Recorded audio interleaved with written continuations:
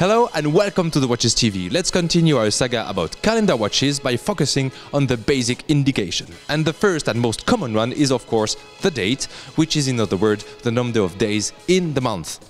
You can find it by default on many watches in addition to the necessary hours, minutes and sometimes seconds. Then you can have also the weekday, Monday, Tuesday, the month and finally the moon phase. A watch that has all of them is considered as a complete calendar.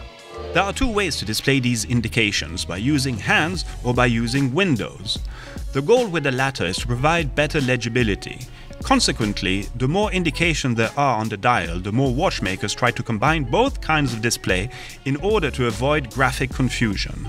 There is even a special kind of vintage date hand with a wavy shape called the serpent hand, as it looks like a little snake. It was used to display calendar indication in opposition to the straight hand used exclusively for the display of time. Of course, this was never a strict rule and contemporary watchmakers sometimes use serpentine hands to display time.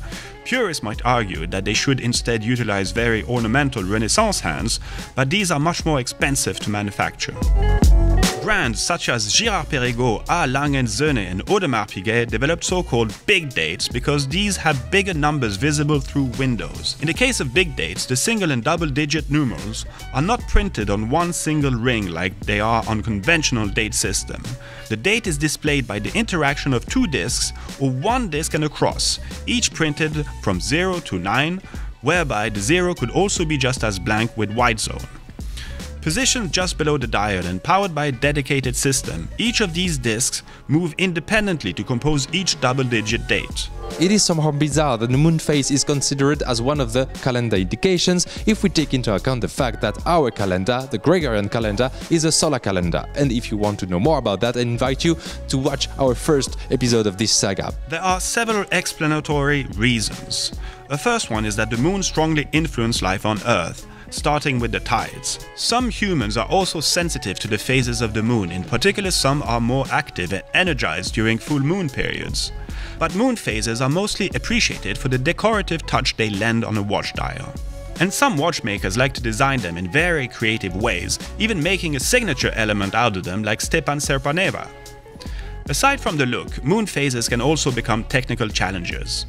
Usually the moon makes a full rotation in 29.5 days, which just barely corresponds to real time, which is 29 days, 12 hours and 44 minutes or 29.53 days. Consequently, watchmakers worked on developing super precise moon phases. Today the most precise moon phase of all is found in Andreas Strehler's Sauterelle à lune perpétuelle, which must be corrected by a full day only after 2.06 million years.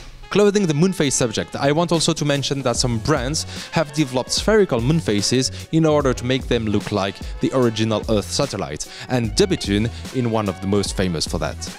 Calendar indications are constantly connected to the movement, contrary to functions that work on demand like the chronograph or the minute repeater. For this reason, they can be sensitive to set. For instance, you should never try to change them when the watch time is between 11 pm and 1 am.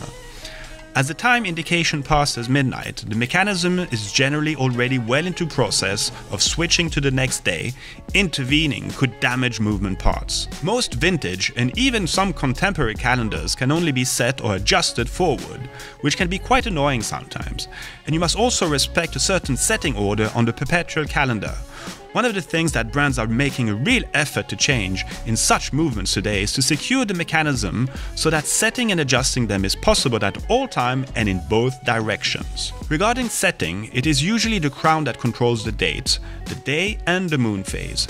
Correctors are necessary when there are additional functions, such as the month, for instance. Correctors are tiny pushers integrated into the case, the wearer needs a stylus to push them.